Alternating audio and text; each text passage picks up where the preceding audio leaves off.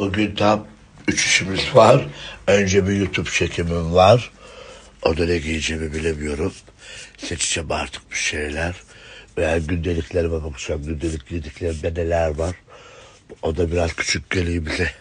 Vallahi baksana valizlerin haline. Ben bir daire daha bakıyorum uygun. Alacağım bu kattan. Sığmıyoruz anam.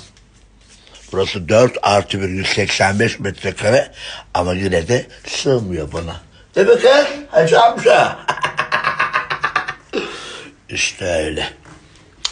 Bugün çekimim var. Ne hazırladılar bana bilmiyorum ama. Montumu güzelle bakar mısınız kızlar?